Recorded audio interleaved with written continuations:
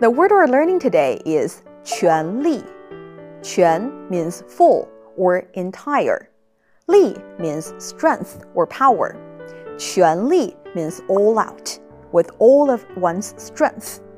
For example, 全力支持 give full support to. 竭尽全力 try one's utmost. What deserves our full support? Here is an example. 我们将尽全力维护和平。我们 we 尽 exert 全力 full strength 维护 preserve 和平 peace. Together, we will do everything we can to preserve peace.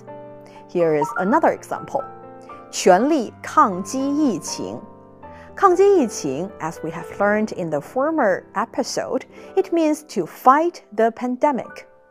At present, COVID 19 is still ravaging the world. We should pull together with solidarity, support each other, and cooperate in areas such as testing and treatment. So, together, 全力抗击疫情 means we need all out efforts to fight COVID 19. 全力 all out effort. 你学会了吗？